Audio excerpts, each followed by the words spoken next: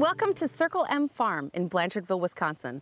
I'm here at this diversified farm and bed and breakfast to find out more about what it takes to run a business like this.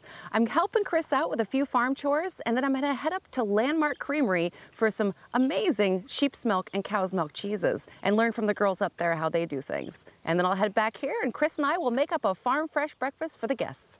Gather with us around the farm table. I'm your host, Inga Witscher. Gather with us around. A few years ago, I moved up to Wisconsin. I started an organic dairy farm at St. Isidore's Mead. That's when I discovered the abundance of Midwestern local food and small scale farmers, growing everything from green zebra tomatoes to pasture pork. I'm taking a break from the cows, hitting the road, and seeing if I can't satisfy my epicurious appetite. That's great. This is amazing. Funding for Around the Farm Table is provided in part by Wisconsin Farmers Union, a member driven organization for family farmers, rural communities, and all people. Wisconsin Farmers Union, united to grow family agriculture. Information at wisconsinfarmersunion.com. With additional support from these community members and Friends of Wisconsin Public Television.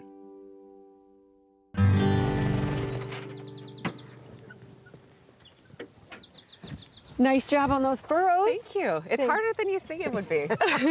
Yes, it is. I'm famous for my imperfect furrows. Chris, thank you so much for letting me come down here and have this opportunity. What a great way to learn if this is the, the right business for me by being here with you. Uh, so tell me a little bit more about your business and about the B&B and everything. I don't talk without working, so I'm going to put you to work while I answer your question. We came here about 10 years ago from Chicago. We uh, loved living in the city, but my husband wanted to try a country adventure with our four children. So I was homeschooling. I brought them out here, and uh, they quickly learned how to do a lot of things. So we got horses, we got sheep, we got goats, and we started a CSA. And then as they all started leaving for college, I shrunk the CSA and I opened a bed and breakfast in their bedrooms. Nice. So what gave you the idea to do a bed and breakfast here? Well, I really like being here and I really like sharing the farm. That's why we had a CSA in the first place. Okay. So for me, it was a, a natural progression. I had rooms empty, it's a cute house, and I like eating with people. So it gives me a chance to cook, eat, talk, and hopefully get a little weeding done. Right. See, that's that's one thing that I'm trying to do on my farm. I, I really need to add some other value to the farm, and I really like uh, entertaining and I like farming. So I thought that maybe a B&B like this would be a good good start for me to be able to do both of those things. I think it'd be perfect for you. How do you manage all the stuff that you're doing? It must be exhausting. There's coffee. and there's good food at the end of it. And I have a lot of good help. I'm here to help, so what else can I do today? Well, I need to get those goats milked. And I think you can do that. I'm good at me. that. I'm good at milking. All right, thanks. I'll finish up here.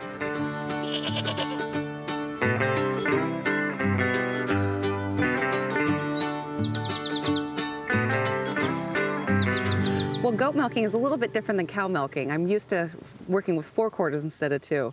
There's a couple differences between goat milk and cow's milk. It's naturally homogenized. So if you were to set out some goat's milk on the counter, it doesn't separate. The fat doesn't separate out from the milk like a cow's milk would. It also has less lactose. So if you find sometimes lactose might bother you, maybe try looking for a goat milk cheese or goat milk and see if that's maybe a little bit easier on you. It also has more calcium the cow's milk, and the flavor is just a little bit stronger. So it might take a little bit of getting used to, but I think once you do, you're gonna really like it. Good job, girl. Wisconsin's famous for its dairy cows, but it's actually the number one state for dairy goats here in the United States. It's kind of an amazing fact that we don't think about all the time. Now that I've got this goat milked, I'm gonna take it into Chris and find out what else she has in store for me today. Alrighty, I got the goat milked. Thank you. What's next? Will you put Moki away and then we'll go get some veggies? Okay, Thank you. come on, baby.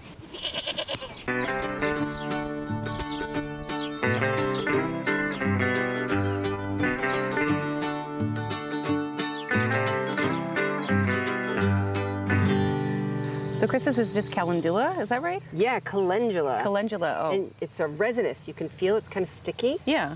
It's very medicinal and good for you, but we're using it for confetti to make our breakfast look super pretty. Okay, so how do you do that? Well, we're picking the whole blossoms, Mm-hmm. and then we will be picking off the petals.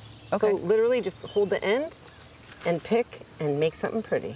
And these are edible flowers, so that's why we can eat these. Yep. What are the other flowers that you use? I love Johnny Jump Ups, violas. Okay. Pansies are terrific, but my 100% favorite is nasturtiums. Oh, yeah. And do you have to cut those up or you just use the smaller leaves on those? I use the tiny little round leaves, they look like lily pads, and then I use the blossoms uh, whole. And you can stuff them with goat cheese or a little cream cheese, a little What a great ricotta. idea.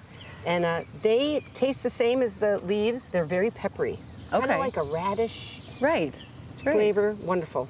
So much of eating has to do with looking at something and, and sort of taking in the whole experience. So I love this idea of garnishing with a, a flower confetti. I'm probably going to start using this quite a bit in my cooking. Yeah, do it. Once you open your mind to it, there's a ton of flowers out there that you can use, and I just keep my eyes open. Okay. Um, my favorite new one this year is cornflower. They're uh, growing Those them, hybridizing blue. them in lots of different colors pink, purple, almost a black, Oh, nice. and a light blue. okay. So, blue is kind of rare in flowers, and it's pretty special to put. Wonderful if you have a white iced cake to put the whole confetti blue, pink, purple, and orange. Stunning. This is like the tip of the day for me. This is great. Thank you. well, Chris, if you don't mind harvesting the rest of the vegetables, I think I'll take off and get cleaned up and, and head off to get the cheese for the breakfast today. All right, say hi to the Annas for me. I will.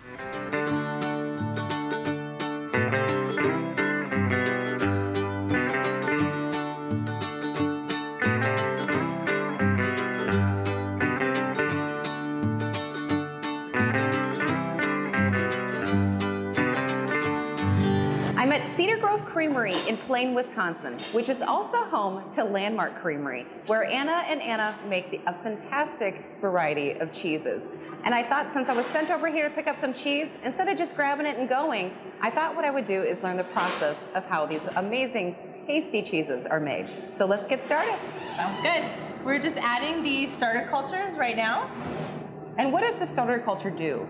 The starter culture uh, adds flavor, but it also uh, acidifies the milk so that once we add the rennet a little bit later on, um, the curd of the cheese forms. Okay. So you need the acidity, otherwise the milk would just stay liquid. Okay, and the milk that you have in here right now, it's a cow and sheep milk. Yes, it is. Yep, it's about uh, two thirds cow, one third sheep today. Okay, why do you like the two different types of milk? I, I love the nuttiness and the higher fat and protein that the sheep milk brings, and that's why we make most of our cheeses are just 100% sheep milk. I think the blends work really well together because it just kind of brings out the best in both of the milks. Sure, yeah. So, and they play really nicely off of each other. Oh, good. Well, don't let me keep you. I'm, I'll wait here and wait for your order. okay. All right. Well, now that we've added the starter culture, we're just going to let it ripen for about 30 minutes, Oh. and that just allows um, the bacteria and the cultures to um, uh, start working on the milk and uh, getting things going. So, in the meantime, we could um, also add the starter culture to our petit nuage milk, which is over in our coagulation vat. Okay. This is the vat that we use to make petit nuage, our little buttons of fresh cheese. This is 100% sheep milk. Um, we call this little contraption a coagulation vat. It's amazing to me that this is not having to be heated up or anything like that. It's. I feel like it's something I could do at home. Yes, it is. And actually, this is one of the most common cheeses that people make um, at home. It's just, it's considered a lactic set cheese. So it really just, um, you add your culture and it just sits for a long time. It's a very easy cheese. A lot of people will drain this in their um, Like a colander or cheesecloth. Oh, yeah. okay. Yeah, you could do cheesecloth. We, we drain ours in little baskets, but that works. Uh-huh. Part of what's appealing to me about eating is uh, just seeing how beautiful the food is, and, Yes. and your cheeses always Yes. look so gorgeous and Yes, thank you. Edible. I have a, a friend, uh, Jeannie Carpenter, who is a cheesemonger for a while at Metcalfe's and has been really instrumental in furthering the uh, artisan cheese movement in Wisconsin. She was talking about how in France you see all of these beautiful tiny little cheeses all over in all the different stores, but nothing like that existed here in Wisconsin, and that really kind of inspired me to develop one. Uh huh. All right, here's the ladle that we use to stir the cultures in. Okay. You just, um, yep, just put the spoon in there and just stir very slowly and gently.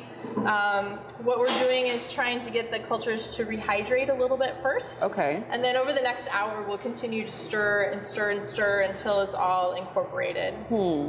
What is it about sheep's milk that you like? I love the nutty flavors in sheep milks. Um, and I, I, one of the other things too that I feel really strongly about is the sustainability of sheep dairies and um, the fact that the sheep are light on the land. They don't need as many acres as you would need for cows. Um, they just, uh, I think they're a really good venture to uh, sustain families. And um, I've always would thought- love to yeah. see more sheep dairies in Wisconsin. I always thought about getting sheep because I only have uh, 30 acres on my farm, so Yeah. it's, it kind of would make more sense for me to have sheep than cows, but I just love cows too much. So what got you into cheese making? I started just tinkering in my kitchen actually. Um, my husband and I bought a small family, small um, hobby farm basically, and um, uh, we we bought a couple sheep to start with, although not a dairy breed, and um, I bought a family milk cow. Um, Oh, what breed? She was um, Ayrshire. Oh, I love Ayrshire. Yeah, I needed to start making cheese to just kind of keep up with all of that milk. So, really, just yeah, tinkering in my kitchen it became a passion, and I had also been kind of looking for a small business venture that I could start on my own, and uh, I just felt like cheese making was uh, something that. Would both keep me inspired and a way to kind of participate in the egg community in the state.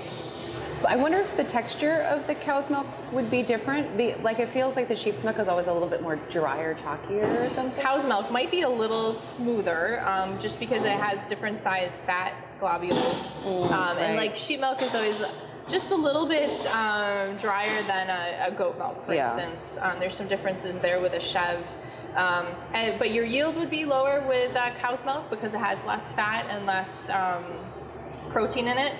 Um, and it will be slightly lower fat because of that reason too. This is like the most meditative thing a person could be doing. I just, I feel so zen. I find the whole cheese making process to be my zen. All right, we're good to go here for a little while. Yes. Okay. We'll let this uh, just continue to dissolve and we can go add the rennet and the other vat. Great.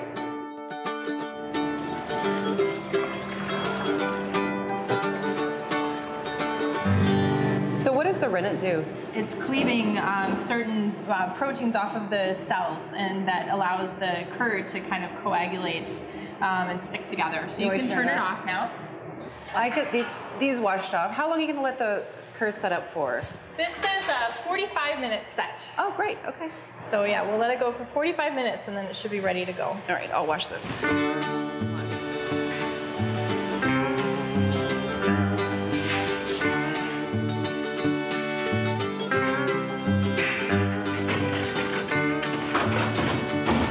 Making is a lot of hurry up and wait, but it's also a lot of washing and sanitizing equipment. When you're making cheese or working with any dairy products, you want to make sure that everything is as clean as possible.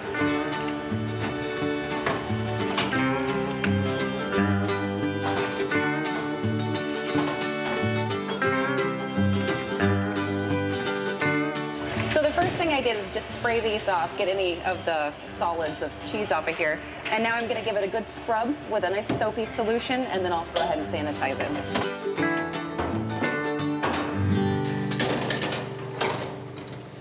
Inga, if you're ready, we, the curd is all set.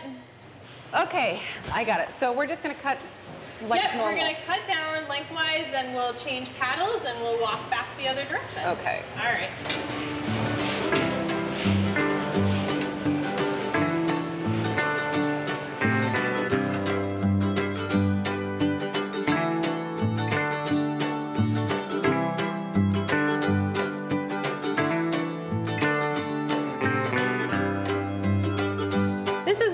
Do. I run my hands through the vat to check the strength of the curd and whether or not it's ready to start stirring.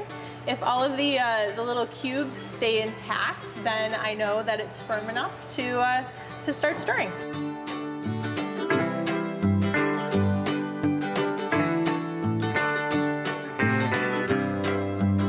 So just take form and just scoop in what you can of the curd. and then just fill the rest. And if there's big chunks like this, you can leave them intact. Okay. They don't have to be broken up. Well, we're going to finish up here, and then why don't you meet us all outside and we'll taste some of these amazing cheeses.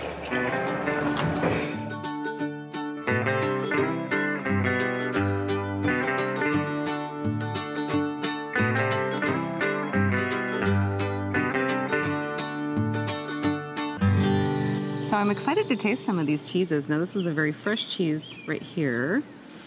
Uh, pronounce it for me again because I'm terrible at pronunciation.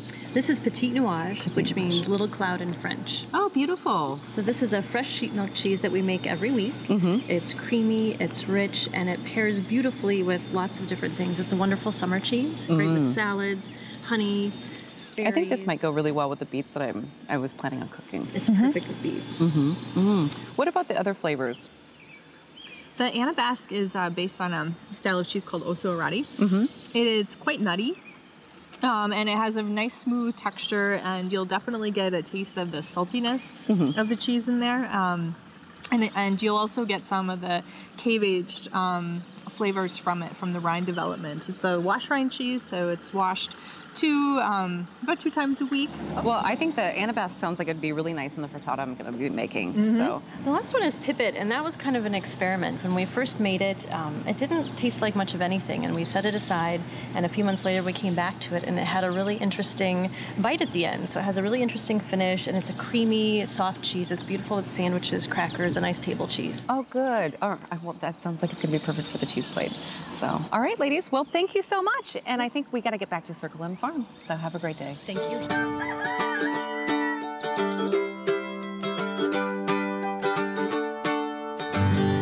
Alrighty, Chris. Well, I'm back. I brought some great cheeses back for us.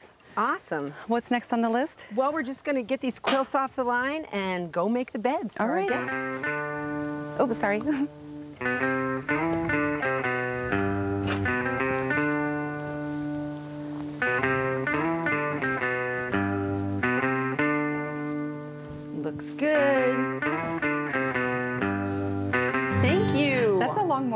you. It is. So, Chris, I'm really interested in doing a farm stay at my house. Tell me what exactly is a farm stay, and, and what, what do what do I expect as an innkeeper doing it? I think there's a great need for people to bring peop bring people out to the farm. Um, people from cities want to come. They want to get their kids close to animals, and I'm booked all the time. Really? We just got inspected as a certified B&B in April, and we're already booked through September. That's fantastic. Yeah, so it, it'll go fast once you put your name out there. Uh-huh. Um, it's not without work. Okay. Uh, there's laundry, there's cooking, there's thinking through things, there's keeping your house tidier than you probably would for yourself, and keeping your lawn mowed and your weed whacking kept up on.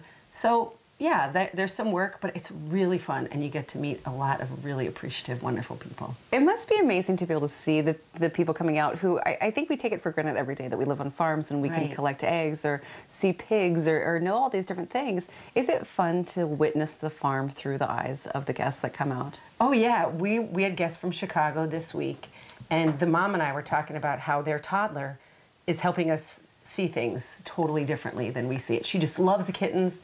She loves the bugs. She loves every dead thing she finds. and uh, yeah, having guests here makes me fall in love with this place even more than I already am. That's so nice. Now, what can people expect from a stay when they come to, a, to the to the farm? You can tag along with us on chores in the morning. You can milk with us if you're around when we do the goats. You can collect eggs. You can help us chop food in the morning. That's so to. fun. It's what a great experience. It's so different than staying at a hotel or something. I mean, Yes. you really get that one-on-one experience with the people, and you're invited into the family. On the other hand, when the roosters crow at four, it's nice to share the farm experience with so many people Mm-hmm. because it just helps also people reconnect with where their food's coming from and just have that experience that we get to have every day. Right. That most days we usually love it, right? it is just uh, my greatest delight when my guests are here for breakfast and then I can send them into my tiny town and have lunch and dinner and drive the economy here too. So I think that's another part of farm stay bed and breakfast that people don't think about is that these rural economies need an influx of absolutely. of, um, of money, of support, of attention, and we have so much to offer and people don't know. Well, Chris, thanks for giving me this experience. I think it's something that I definitely going to try at my own house. Well, why don't we let Chris finish up with her morning chores and we'll go down and start getting a frittata on the table for the guests.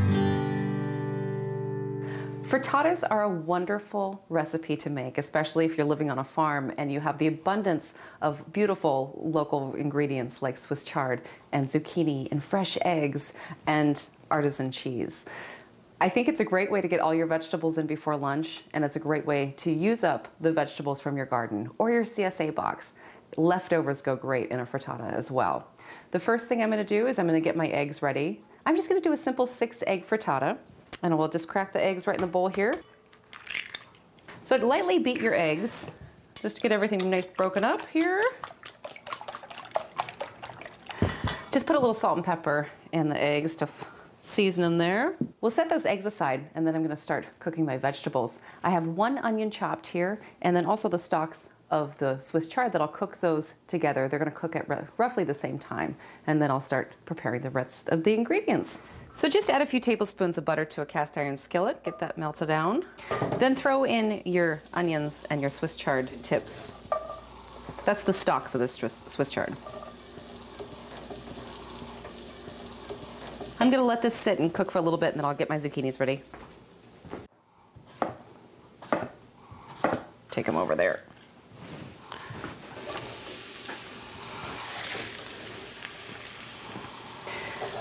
Cook down the Swiss chard and the zucchini until they're tender. Now that the vegetables are cooked, just take them off and place them in a pan because we're gonna cook the eggs right back in this cast iron skillet. All right, let's go cook the eggs. Add a little bit more butter to the pan. Add your eggs and then let them sit undisturbed for about 30 seconds so they can kind of set up on the bottom. The eggs are set up nicely. Now I can take it back over and put my vegetables in. Now's the fun part is when you get to decorate the eggs with all of your cooked vegetables. And you want to do this artfully so it looks good for your guests. So just gently place all the cooked vegetables back in the egg mixture. Ooh, they're still very hot. I might use this so I don't burn my hands. Make sure to get nice and dispersed all around. And then you can kind of, with the back of your spoon, set the vegetables in the egg mixture a little bit.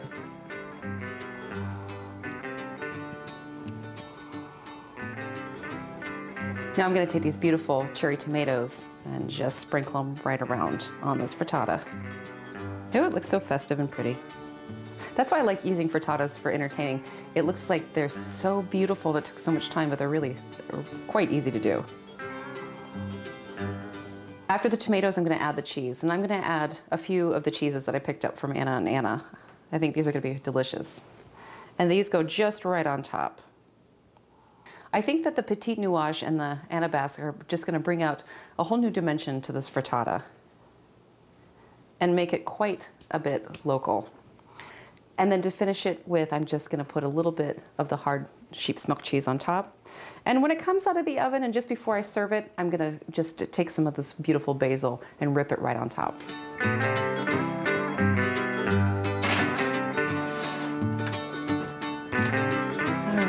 Frittata here for you guys and some Ooh, roasted nice. potatoes. A hearty breakfast to fuel you up for traveling the back roads of Wisconsin.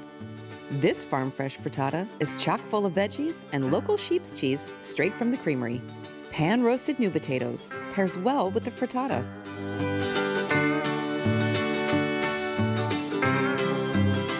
Spinach salad with a light vinaigrette and topped with roasted beets. Dessert for breakfast? Little chocolate zucchini cakes, just picked raspberries, and a sprinkling of flower petal confetti.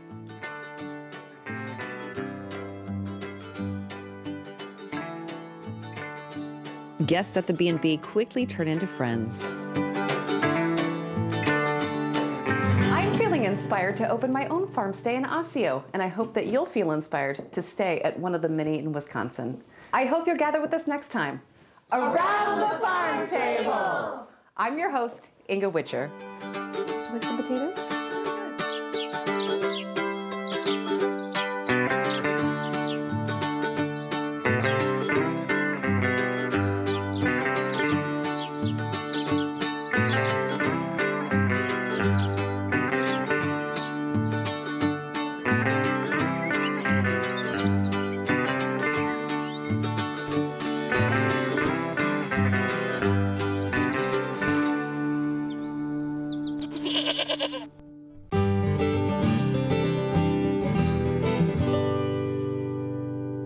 Funding for Around the Farm Table is provided in part by Wisconsin Farmers Union, a member driven organization for family farmers, rural communities, and all people. Wisconsin Farmers Union, united to grow family agriculture. Information at wisconsinfarmersunion.com. With additional support from these community members and Friends of Wisconsin Public Television.